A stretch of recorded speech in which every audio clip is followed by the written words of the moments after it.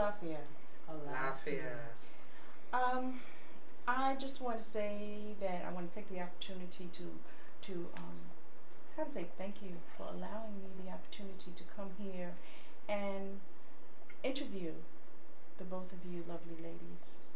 Okay, and I say that because um, it's not too often that we get a chance to try and begin to dispel some of the myths around this religion, this Lukumi religion. Okay, I call it Lukumi um, based on the knowledge that I have and how, I mean, I'm still very much a young priest. I, I only have 16 years of culture.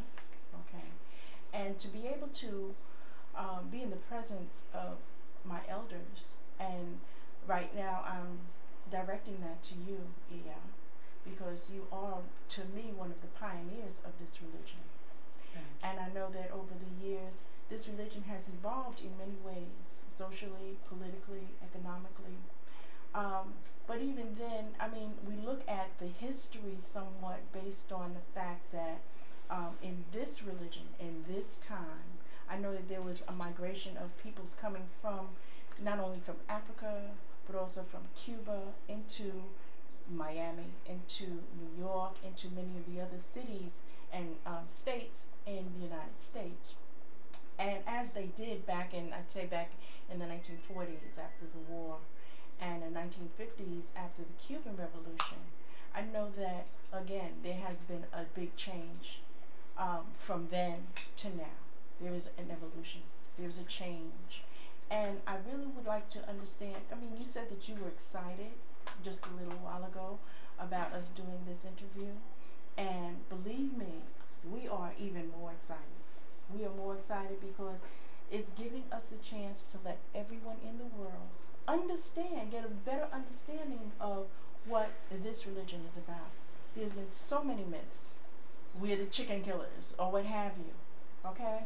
But to get it from the mouth of those who have experienced it is something that we have not had an opportunity to do.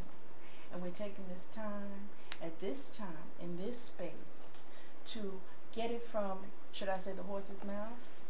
Okay? And I say that because you are someone who has lived it from the beginning.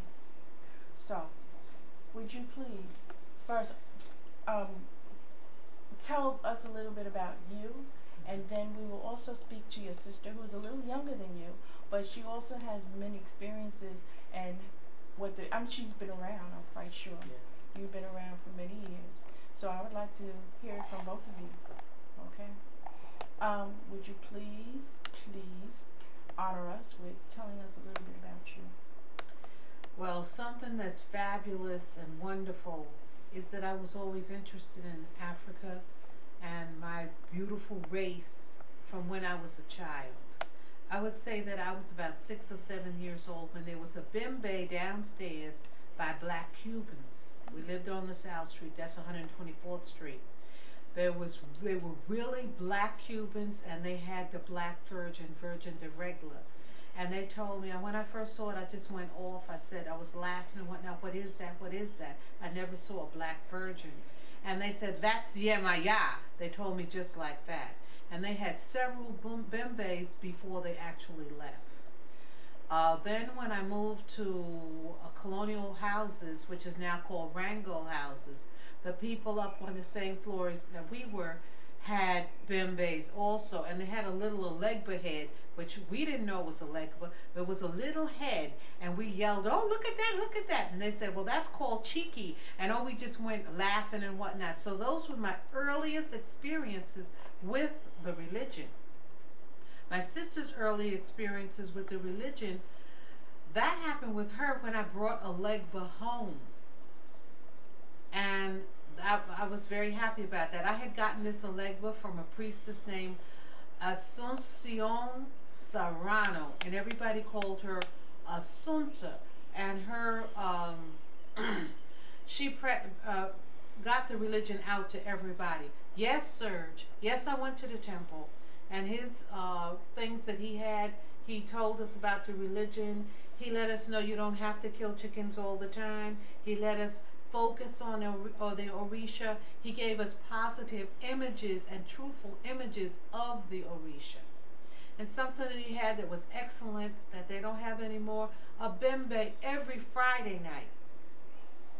And that meant you had something stable and positive to look forward. You would see the Orisha, you would meet the Orisha. So that's my, uh, like, basically my early history. I was really brought into the religion. I think I got my first set of um, Aleke from Osonko. That's the name of uh, Asunta when I was 17. I didn't get my Ocha made until I was 23. Meanwhile, in 59, I had just missed Serge. He went to Cuba. And this was up in a place they called Don Balawedo. That was Pianki, and he was teaching the religion, and he was teaching dancing. It was all cultural. It was language, and it was dance, and it was emotion, and it was clothes. Extremely, extremely positive, and a lot of brotherhood and sisterhood. It was very beautiful. I never could give up the religion because at the time as a teenager coming into something so beautiful, there has never been anything that would make me not want to be in the religion. Then there was the first Ocha in New York City was done by Obanyoko. She, her name was Mercedes Noble, and she was a Jamaican Cuban. Number one, she was a black Cuban, and she was born more or less speaking English because they were Jamaican Cubans. And her sister's name was Omile Fun, which is the name I have in Ocha. And she was also an Ase Soon, which is what the road of Yemanja that I have. And what happened with this is you could always go to Obanyoko's house. You could always ask Obanyoko questions. And she was real sweet, real loving. No nonsense, but very sweet and very loving. She's the godmother of Lionel Scott, Odufora, Obatala. He had made Obatala way before the other people were making Ocha. Now it is Serge that I have been to his house with his wife Jan. I was at Serge's house. That's Ofuntola, the man that founded Oyotunji. Because this is like our earliest roots, the dawn of Ocha for us.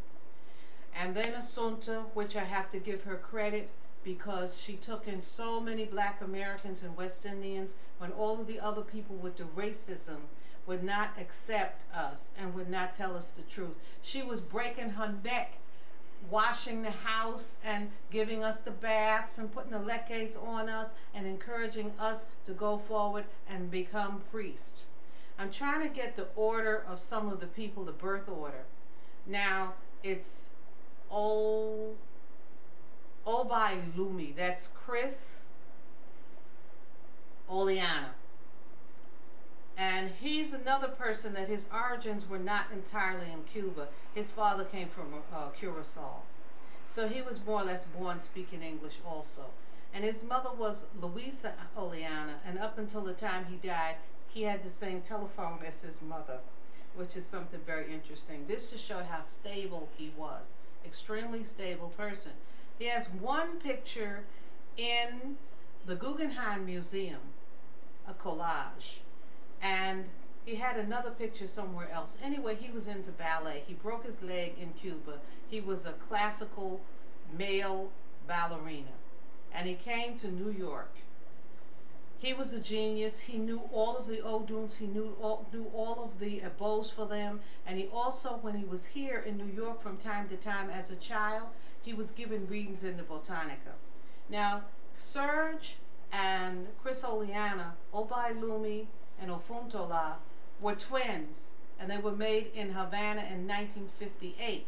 The next year, Serge brought um, Clarence Robbins Eshumiwa to Havana, and they were made over where uh, Ofuntola and them had been made. Now there's Jose Patapalo, Ibaye Bayetonu, that somebody always mentioned because this person was important to them. And he's like a Lukumi that was involved in getting these people initiated. But then Obai Lumi The same year, a few days later, in September, brought Edward James, Shango Ilari, and Maria. Now I can't remember um, Marie's name. Maria is a person like from Alabama, a straight out black American. Up until then, all the other people had some kind of exotic history or whatever. But this lady was a black southerner who really knew New York and she was a fashionable, very bright, uh, intelligent person, sophisticated person. Okay, so that's Edward and uh, Marie. They were initiated again as twins. Edward had this old Odun called Ejila. And in that mm-hmm. old Odun, they say, do not discuss things. Well, he would have these intellectual discussions and these comparisons which put people off very much and made people very afraid and sometimes made people ashamed of themselves. So he, he developed a lot of enemies, more enemies than he ever deserved. He was a kind, intelligent teacher.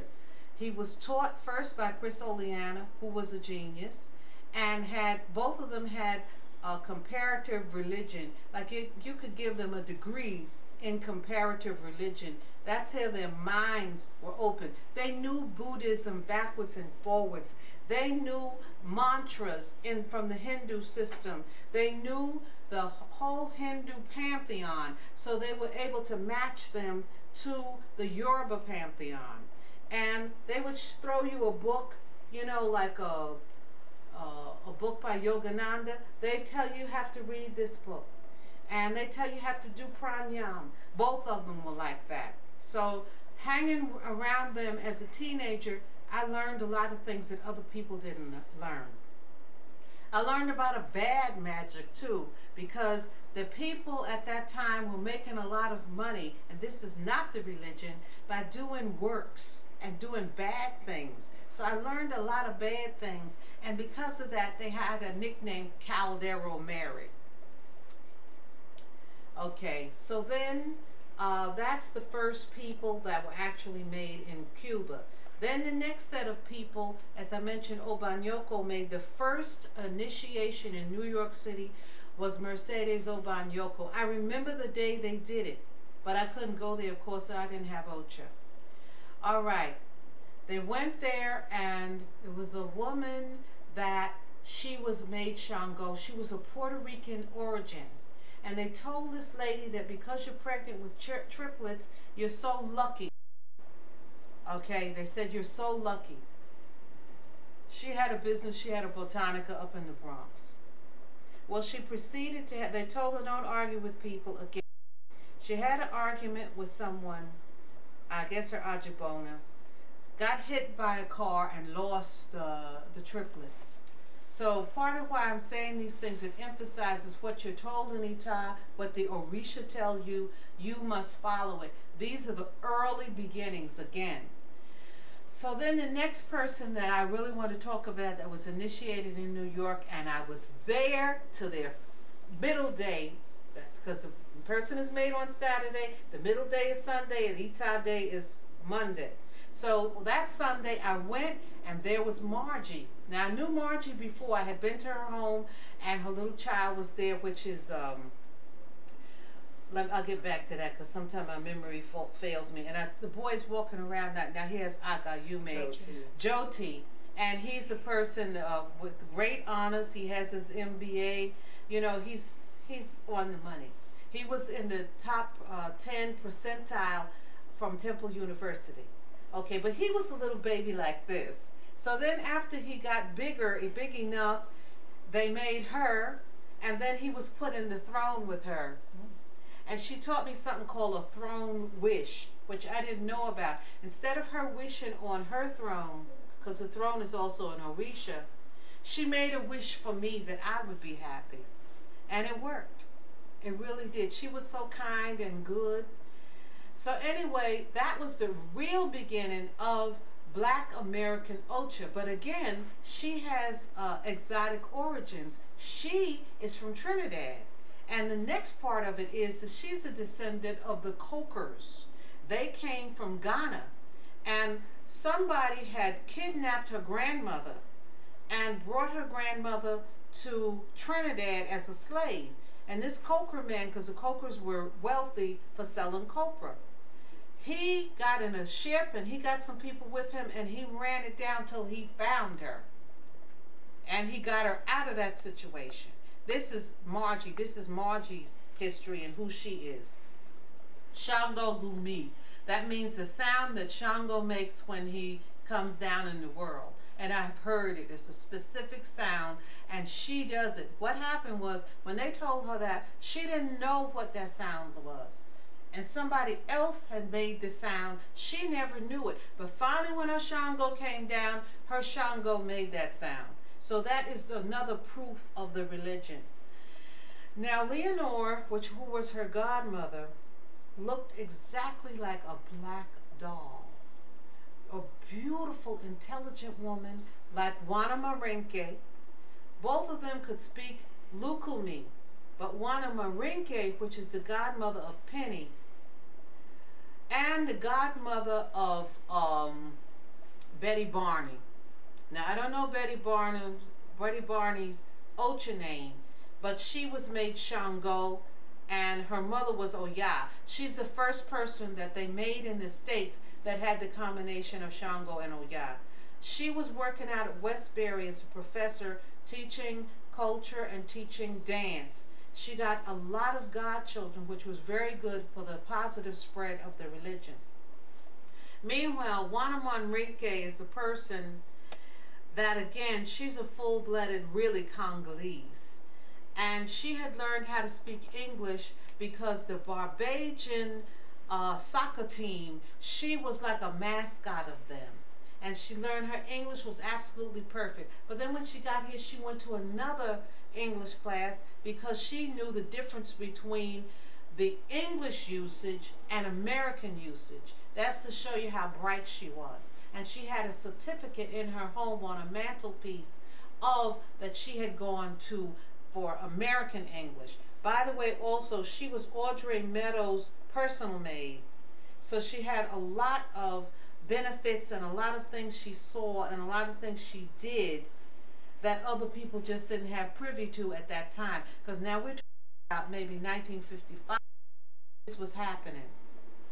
Okay, finally, I'm not missing anybody, but this is my personal. There are a lot of people in between. Now, the people initiated before me that are Yemen like this. In 1965 is Alfred Davis.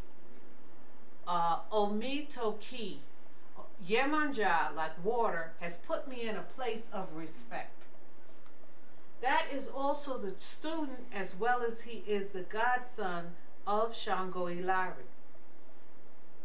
One of the things I want to say is that there's a man that's alive and well today. That's Okikilo, Nico.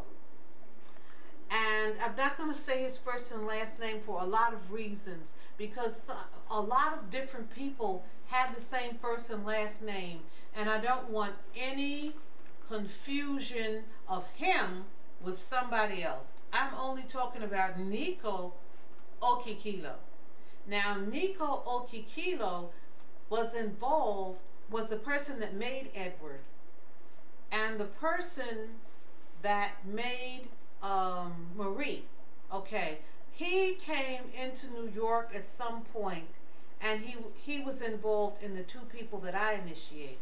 I'm going to their bloodlines because in Ocha we have what they call branches, as they call a Rama, and there's a branch of people off of one, big tree. Essentially, it's only two big trees, which is Fuche and another house, De la Pimienta, which I believe is part of Fuche. And it will come to my mind this house, a huge house from Matanzas. Anyway, they have a house called the Shangos of Palmyra. That is Okikilo. That's Edward, and that is um, Alfred. And then uh, what happened with that is Alfred was back, in this is 1965. This is Alfred and Jan, the wife of Serge. These two people were initiated. And Freddie, which comes from Juana Manrique. She's like the first Obatala they made. These people were all made in Puerto Rico, which equivocates very much with the plants, the flowers, you could pick the herbs, the animals, everything, the atmosphere, being able to go to the river in uh, tropical water where you don't freeze. They were all made like in September of uh, 1965. Then the next year they came back and they made Sunta's uh, grandson and they made Beatrice. Now I can say Beatrice Adderley, and she is of the Adderleys of the Bahamas. There's a street name for her uh, family, and she's an heiress of that family. Now she ran a store for a long time, a camera store on Fulton Street in Manhattan, because there's a big difference between Fulton Street in Manhattan and Fulton Street in Brooklyn. And this is again the same type of savvy of these Yemaya people, the early Yemaya people. And of course, Beatrice is the goddaughter and the sister of Alfred, and Edward was their teacher. Obanyoko had, um, not Obanyoko, I'm sorry, um, Sonko and Edward had classes for them as they were Yawos. Of course, I'd stick my head in there if I could. They told me you can't go in because I, I, I'm not, I wasn't initiated at the time. So now I'm trying to move on forward into some more people, some more things that are really, really important. Um, of course, Penny was made not too long after that. She was made in New York, again, by Juana Manrique because I brought up these people in the beginning and I continue on with them because as you reflect back, they're all related. I can't remember the year. Okay, I'm coming on up to 1968 when I was made. Sometime maybe two years before that, Nico was paid for to come from but Spain had a whole lot of rigmarole, and Nico was forced to stay in Spain, Okikilo, stuck in Spain, and that was bad for him because he wanted to come here. Okay. Meanwhile, Polo came here, who is my godfather, Ochegweye, the blood of the Orisha. He was taught directly by Lukumis from Africa. Apoto, Eledan, Belen Gonzalez. These are the same people I'm talking about. And they gave him secrets to the point that they told the whole Lukumi population of Havana and outer laying Havana be made by Polo. We gave him all the secrets. One of the things that's extremely important is there is an actual ceremony to put a person on the mat for them to do ita. And this was done to Polo. The man here, uh, Orestes Blanco, that what happened with him, he was doing the best he could. He took the crown of Oshun and he did as many ceremonies as he was told to give him the ache, the blessing from heaven to do the itas. His itas were excellent because I saw his itas play out in this world. I've seen the children that had the itas, the people that were pregnant when they had the itas, the people that had the itas and they were worn this, this, and this, and all of these things have panned out. There's, he didn't miss a step.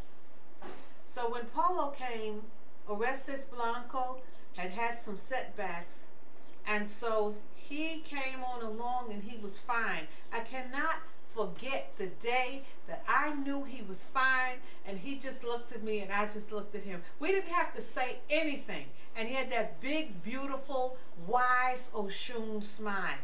And that was just something wonderful. Meanwhile, my godfather and my godfather brother, this is, can only exist in a religious pantheon, and this is Antonio Carmona, a Gwintolu, the goodness of the snail. All right, and then there's another lady, Jan, which was the wife of um, of um, Serge. Her name was Eween Leti.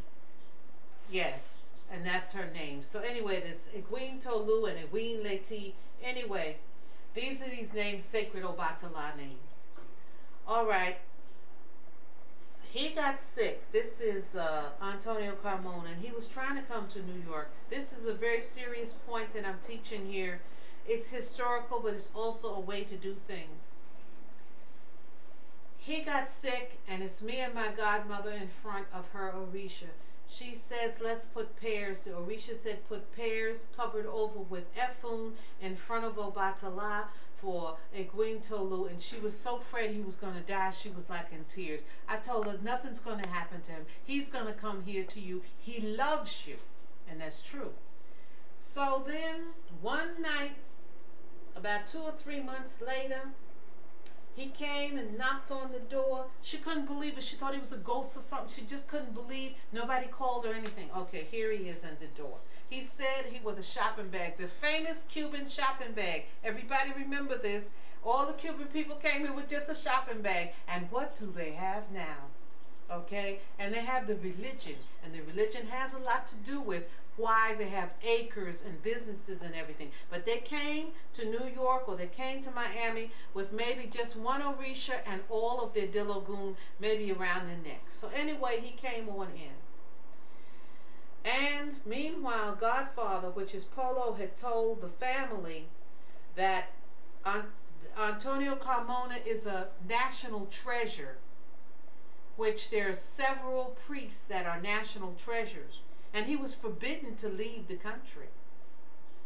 But just think about all of the powers, occult powers or religious powers, and just plain uh, savvy that you would get out of a country when you're not supposed to leave and you're a national treasure. So that's to show you not telling people things and planning and doing your ebo will get you anywhere you want to go. It really will. And if you haven't gotten the fame, the prom, the, uh, uh, the prominence, the fame, or the power that you want, it's because you haven't done it little by little, little by little. It'll get you where you want to go. So then, they're sitting up in the Itab, this man. And Polo's doing the Itab. Antonio Carmona is there. And so is um, Mercedes, I mean, uh, Orestes Blanco, the original uh, uh, Oriate of New York City. All of a sudden, Polo got a, a stroke. I'll just put it that way. But this is a stroke that was part of magic. And it went back and forth between these two men. I please tell you that if you know anything about uh, the religion and you have received Orishas, only love your brothers and sisters only send love because if you have any kind of hatred, it takes effect as energy and it will hurt the person. So this stroke had gone back and forth between these two men. So finally, they put Polo in the hospital. He didn't die then at all. Okay, and I was taking care of him. He kept saying that I was Madrina, Madrina. He thought that I was Madrina. It worked anyway. We got him on out of the hospital. So then he goes to back to California where I was initiated. This is since I was initiated that he this event happened. Well, there's a man uh, named Jose Sardinas. They call him Cheo. And he comes from the famous line in the religion of the Sardinas family. And he was there. And so Polo said, uh, do an ebo for me. I want you to do a bow to the head. Now this is yarmulke style, okay? All of the bows in the Ocha go to here where the yarmulke goes, okay? He said, no, I've had a few drinks, I'm not going to do it. This other man thinks he's doing something, he jumps up and he does the a bow to the man. Then he got a stroke, he went to the hospital, and he has never been able to really walk or function ever since that happened to him. This is a big warning for everybody to know that the energy that is in the religion is real and powerful. And when you take on that power and you get the name of the Orisha, you have power. And don't forget it or put it aside. You have power. So anyway, of course, Polo came out of his crippleness when this was done, and he could function better. And fortunately, um, Cheo is fine because he had avoided the whole thing. I'm telling that story for a lot of reasons because it does a lot of teaching and also its history. Now, what happened with me that I'm so proud of is I made um, Daphne Dumas, who is also the god, the daughter physically of Anna. And our Anna Larimont is an excellent priestess, and she's up and functioning.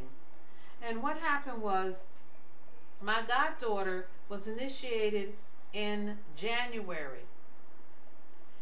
The mother didn't get initiated until like February sometime. So they wanted to put my goddaughter out of her mother's initiation, and it was her brother initiation also. So anyhow, these things are historical because Anna Larimont is a person from Trinidad Tobago, and she also had spent some time in Venezuela. So she had three sisters, two of which have tremendous, tremendous amount of Congolese and Yoruba retention. They can tell you about Sukanya. They can tell you about the Iyamis, we call them, but the witches flying in the night. They know about the herbal things. If you want to talk about herbs, what happens is you don't have to go here or there. Just call up Anna and she'll tell you about herbs and the, the, the uses of the herbs. This is something she knew.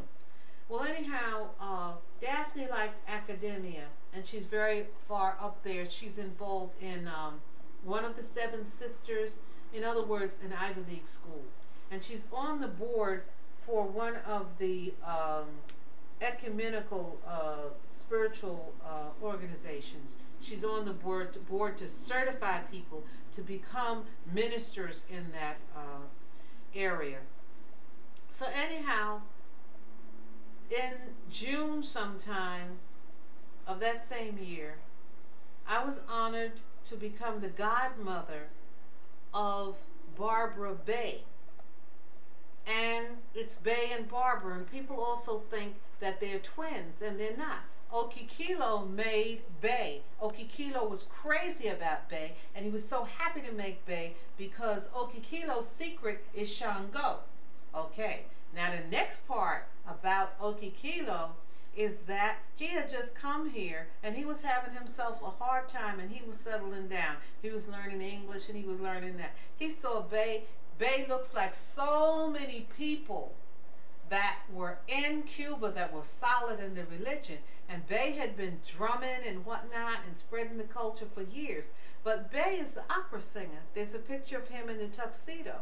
And he had gone in Porgy and Bess, that was an opera, all after World War One, go uh, World War Two, going to England and or going to Germany and everything. So he's a friend of Leontyne Price and blah blah blah. So anyhow, he had to come on into the religion because he said it seems that when the people learn the culture, the next thing they want to do is be in the religion. So he went on ahead and he was being made. They were made the same day, but Bay comes from, and Bay is Ibage, he comes from Okikilo, and Barbara Bay, Ogun Relekun. Ogun, o, Yemaya, when she was Ogun's wife and they lived by the sea. She was a mystery all to herself. Ogun was her father. Ogun is her name and the religion. And she was so much Ogun, and yet she was Yemanja. So anyhow, she had some very interesting Oduns, Oduns that the Babalaos are afraid of. She made a lot of people. The people loved her and she loved the people. When she died, it was like a hole was stared, torn in the sky. And we're only here recently getting over it. I miss her very much. I loved her very much. And she is a historical person in the religion because she made so many people. It's like Leonore made so many people. It's like Margie, uh, Shango Gumi made so many people, spreading the light, spreading the religion, and the people that were made went up. And the people that were made, they began to be themselves. So many people got doctorates. So many people you know, got their agencies that they're over. So many people went to school and became nurse practitioners. Something happened to the person, a positive catalyst of the Orisha coming out of the person and the person being who they are. So now I might be uh, forgetting a lot of the history and not bringing it. It may not be perfect, but it's the history as I remember. I must say something about Mama KK. I cannot remember who made her. I think she might have been made by Sunta, but she was a tremendous positive influence on the religion. And again, the Oshun people have a lot to do with keeping things right. If you're having an Ocha and you invite Penny, who's alive and well, thank the Orisha, what is missing or what's not correct, Oshun, this is Penny. Tell me her name, please. Uh, Her. O- O- O- Oshun Gweye. Yes, warrior of Oshun. She straightens it out. And you, Nia, are the same way. And Mama KK was like that. Things have to be done right. And this is part of the role of the Oshuns. I'm trying to see if somebody else is coming up that I can remember. Somebody else is speaking to me now. Uh, Obai Lumi said, You said enough about me because I'm partially mediumistic. Okay. Uh, now it's Juan and Nelly there because Juan is my uh, god brother, and he's one of the Lukumis that was told to be initiated by Polo. Uh, Juan was a full-blooded Yoruba, and he was told to be made by Polo, and it did him all the good in the world because being initiated, he was able to sneak away from Castro's men, get on the boat, and come to New York. Another story of uh, salvation and being able to reorganize instead of getting killed due to the blessings uh, of the religion. There's one person I want to mention for femininity in the sense that there are female oriates and they are women that have enough knowledge that they can be oriates. And this is uh, Josefina Beltran. And her name is the same name, Olo, Olo Oshun uh, Were. And they named Penny after her. So now I feel that I would like for you to ask me questions because I feel that I've come to the last point of intelligent information that I could give about the history. Wow, that was quite a bit. That was a wonderful, wonderful, wonderful observation, experience, insight. Thank you. You know, um, I want to give you a little break, All right, thank you. okay, and and ask your sister, your Oshun, to give us a little bit of and tell us about you. Okay, I'm, my name is Amanda Ross. Uh, Janette is my sister, and uh, I'm an Ola Oshun. My name is Oshun Ayoka. I have 11 years. I was made in 1994. I'm the first person that uh, Barbara Kenyatta Bay put a lekes on. I'm the one that made her a godmother. I was her first, but I wasn't the first person that she made because I, I vacillated between making my ocha and not making my ocha for a long time and but I finally made it in 1994, and I've only had positive experiences with the religion, and um, I love the I have full faith in the religion. What they tell me to do, what I try to do, and um, I'm working with Sabrina now. She's an old old Oshun. She's my Ajabona, and since uh, Ibaye Barbara, and um, I don't know what else to say. I I uh, I came alongside Janetta. She brought these things into the house.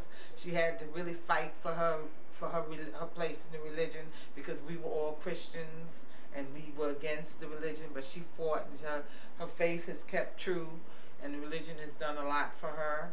And um, and then I but I was converted, and I have full faith in the religion now and uh, I enjoy I enjoy being an Oshun. I'm surprised that I was an Oshun. I was marked so many things before I really made my Ocha, so I guess it was really time for me to make my Ocha then. Because Penny is was old and wise, and she told me to play around with Oshun for 15 years and see what'll, what'll happen. But the minute I, I think it took me from two years when I was marked Oshun to make my Ocha. I didn't play around with Oshun, and uh, uh, my father's a light bulb. Extra Yankee. Hmm. Yeah, that's a very interesting combination. And there, there's so many Oshun Alegbas now that I think they could start an egg bag. Is is Oshun your is Alegba your father? No, Oh, your okay, okay. But I know Yeah. Elekba is um, Sabrina's. Yeah, father. right. And, co- and her and I are the same. Ibu Kole and Father Legba. And there, there are a lot of Oshuns who are Legba's their father. And it's a very, very interesting combination. You you talk about being an interesting combination. I know that each Oshun that I know, being an Oshun myself, I see that not only do the roads of each Oshun give a specific character to the person who carries it, but when it's combined with their with their father, Right. with another Orisha, then it it even makes it more of an impact on how that person turns out and how they respond and how they deal right. within the world. But in your experience, and you you said that Oshun and Elegba are a very interesting combination. How is it interesting as opposed to an Oshun, an Oshun with an Obatala, or Oshun with an Ogun, or Oshun with um, uh, Oya? Well, one thing is, Alegba's fast, and you and you can just put a name, or you don't have to give Alegba blood all the time. You don't have to have a big ceremony with an itai and four legs and everything. And so, with the with the lightness and sweetness of Oshun, Alegba's fast like things that happen in the street, and it's just an interesting combination because people uh, speak of Oshun as being so la di da and fem fem, but uh, but Alegba goes around in the trenches and gets things done, and so you can have what I call it a Tinkerbell with a sledgehammer. Okay. and that's why it's an interesting combination because um, people want like to say Alegba's devious and everything like that. And that's true. And sometimes you you you you have to be devious when you want to get things done. And it's just like I say, it's just a very interesting combination. If you observe who is, who these Alegba Oshuns are, it, you'll see what I mean. Mm, very Yeah. interesting. Um, based on what you've experienced, where do you see um, where do you see this this religion as it's evolving? Oh, it's it's it's gonna it's gonna take over with a light hand, not like uh, with with a heavy hand like like uh, um, the Muslim religion. And many uh, people are gonna come. Most houses are multicultural now anyway. They have there's always one white girl in the house or, or something something like that, and um, the the people are educated now, and um, the the Orisha make a way for them to go to school when may when there may have not have been another way. We we roll with the times. We take we've taken advantage of all the civil rights, and uh, the, the the famous uh, issue is the house in Miami that got it where we don't have to. Uh, get rid of the animals anymore. We uh, we're safe to, to do our animal sacrifices, so we don't have to worry about that anymore. And um, the re- religion is just getting bigger and bigger and bigger, and it's it's so intelligent. It's not uh, uh, it's not a heathen religion, and you know all the other disparaging remarks that have been made about the religion. It's it's it's highly evolved, and it's it's volumes of information. It's a PhD in in in religion when you know when you know the religion. And now my, my sister her her expertise is the oduns but i like to do work. I'm not a mac person but if you you get me i like to do i like to do grunt work. I was Achibona for an oya and i feel like i'm superwoman because that's a tough job. And um I like to go to Ochas and do and really do the work. And my uh, Achibona was surprised. I don't know what she thought that when like when uh, after I got the room and everything, and I was allowed to come into the ceremonies, she was so surprised at the way, the way I would just work. Everything was is my job. And I and I just love to partake and uh, just do do. I don't mind doing the grunt work, Mhm. you know. Yeah. That's that's um, one of the characteristics that I find that Oshun's do. Yes. Okay. Oshun gets the job Yeah, done. That's um, a characteristic. But going back, okay, when um, people in this religion, okay, we are looking towards understanding what the religion is about. Okay. However, there's still outside of this religion, people outside they have a very bad concept Oh yeah. of us this religion, they talk about santeros or santeria. Oh, you're a part of santeria? You mean you kill chickens and this, uh, you know? Um, as far as I can see, there is a, is there a difference between Santeria and Lukumi and Yorba? Because you always hear these three terms. What do you see is the similarities, the differences? Are there any differences? Okay, um, it, it depends on how you come up. Now, I my my sister went to a lot of misas and things like that. That the the spiritual masses. I don't I don't work like that but I get things done. I, I get I get cars and apartments. If you want to to work to get an apartment, come to me. I know the work. And uh, uh, Olo um, and Ogun just called me the other morning to tell me to thank me for the work I told her to do but she finally got the car. And it's it's very simple things. And between a Santeria, Lukumi, and Yoruba, there is no difference. It's the it's the culture the Lukumi is from the Cubans in the middle of Cuba, the black people, and the Santeria is because they had to cover up the name and put the saints, and it's a lot of um, it's it's a lot of modesty attached to it. It's just like um, a, a African Yawo won't wear, wear as many layers as a Sant, Santeria Yawo because it's hot in Africa. It's not that it's not hot in Cuba, but it's a different kind of hot. And if you ever observe a Yawo that comes from a really Santeria house and a Yawo that comes from a Yoruba house, it's it's really they're really very different. We still have to keep our heads covered, but the Yorubas get away from the shawl, which was perceived as something Catholic and nunnish and everything. And um, but there's but when when it comes down to the to the to the real heart of the matter. There is no there is no difference. It's the worship of the Orisha, those heads to whom we pray, and there's there's really no difference. Okay, you talk about the um, practice. Yes. Um, the practice, and, or you you talked about the worship of the Orisha. Okay, worshiping the Orisha is one thing, giving homage and a belief in, in your heart and working to see the the greatness of the Orisha and how it manifests. But the um, practice may be a little different. Is there, in your idea, is it how is there a difference in terms of its practice? Are the same rituals done in Yoruba and Santeria and and you know and within the different factions?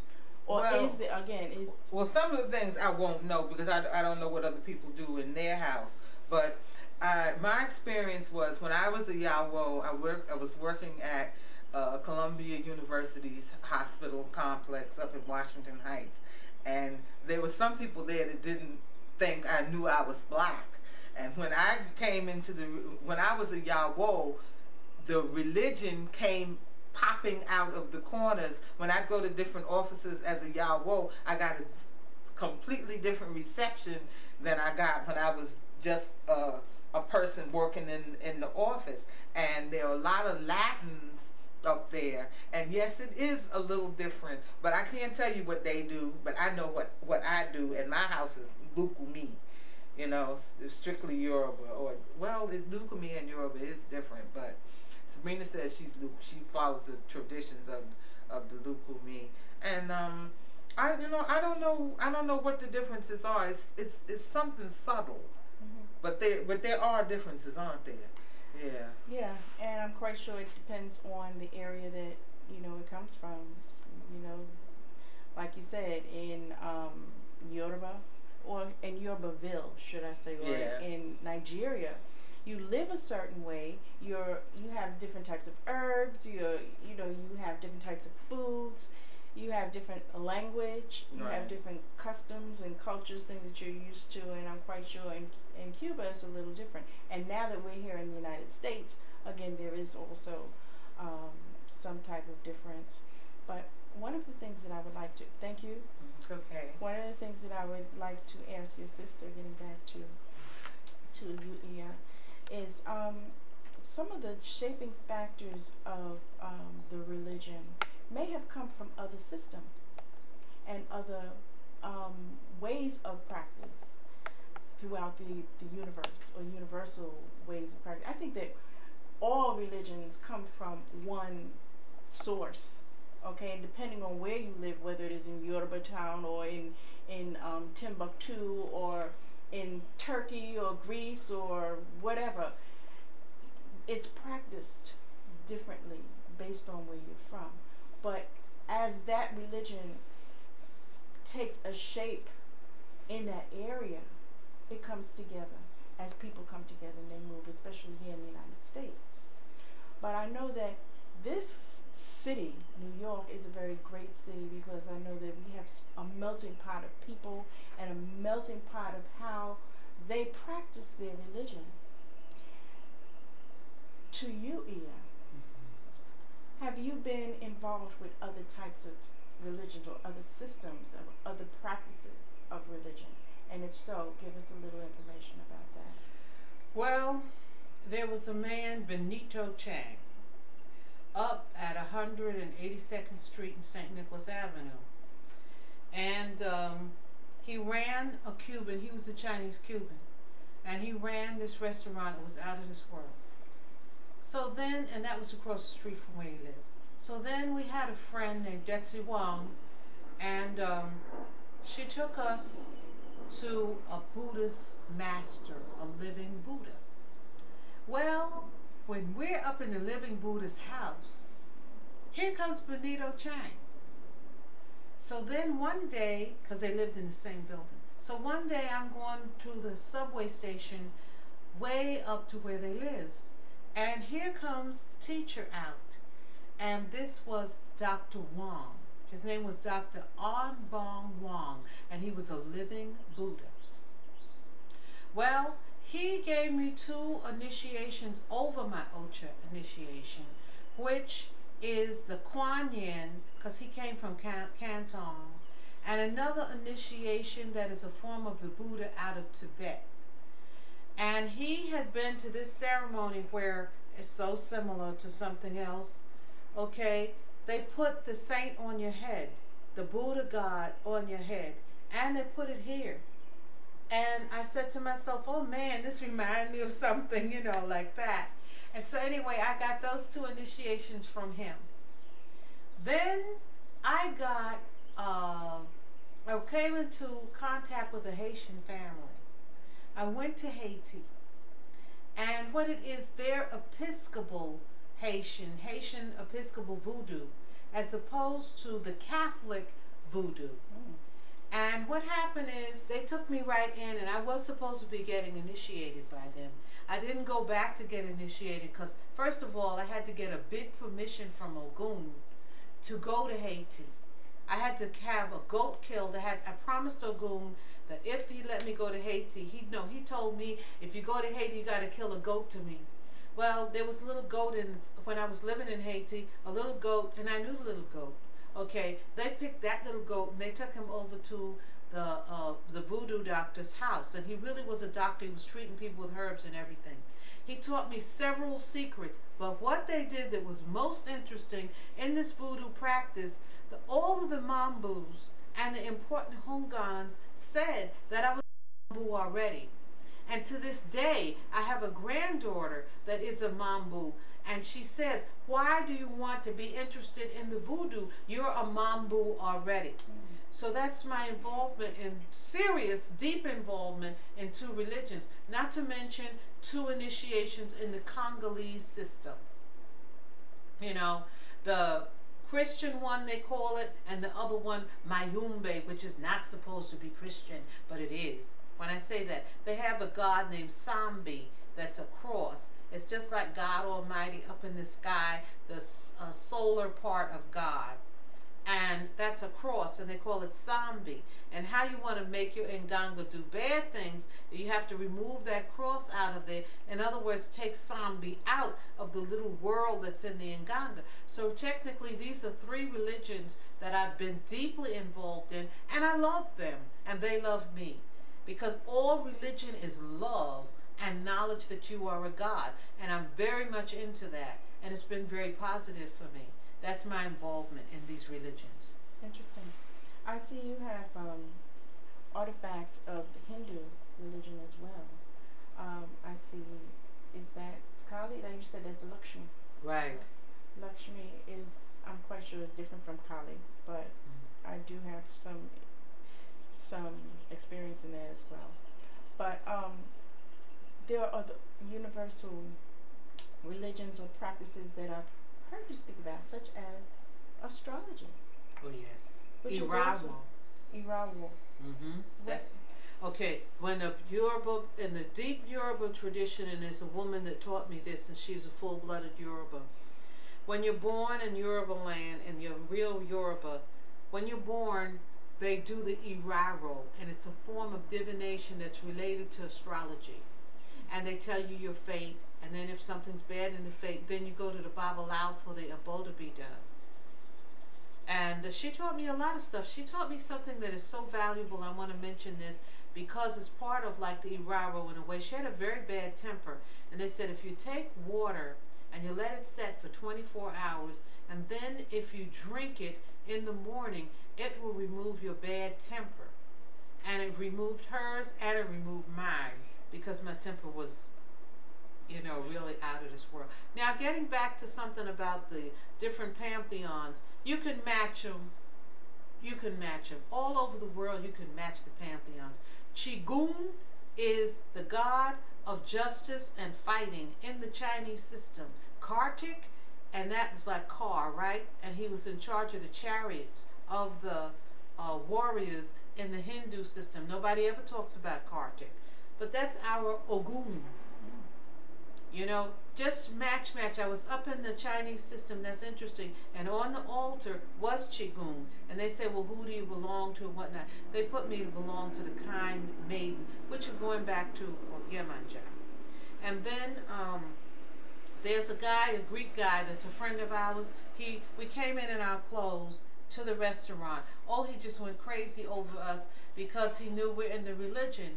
And so then we had a long talking with him. We came to the conclusion. He said, we were talking about Demeter, and there's another god we were talking about. And he said, oh, yeah, I know this because he's a Greek. Oh, this is the same religion. He said just like that because you could put that Greek pantheon, and then don't forget if you get into Kabbalah, up on that tree of life, and up there in those realms and with the different aspects of God, you can just hang it right on there. The whole thing makes sense and it's so ancient. We remember the flood, the Chinese people remember the flood, the Hindu people remember the flood, and the Jewish people, of course, wrote about the flood. These religions are so ancient that we are really all one and the same. And that's that's my experience. Wonderful, wonderful. Uh, do you have any questions for for or any other things that you might want to speak of? I was about to say, do you have any questions for me? But this is not about me. Um, do you have anything that else that you might want to uh, share with us? One thing I want to share is that there's a lot of things with certain type of fundamental Christians, people becoming fundamental Christians, people becoming uh, that they're against all the other religions, just Christianity, or any religion that does that. When you go out in the world and you want to make Christians, always remember that everybody already knows about Christ. You're just finding out about Christ here and now. But all the other world knows that God is their Father. All the other world knows that we are descendants of God's. And Christ said, And I say that ye are God's, and the scripture cannot be broken. And the scripture is inside of the Psalms, and it says that we are God's. Your name for Oshun, your name for Yemaya, your name for Oshun, I'm named for Yemaya. When we took on these initiations, we became gods. And it goes just what Christ said. If a person wants to make people Christians, they have to remember first that the person is God Mm. and that the person already has a revelation from their ancestors and whatnot that they are gods. And if they want to turn the world out of bride burning and these mutilations and different little bad things that these people do that they say we don't do, okay, they have to work with that.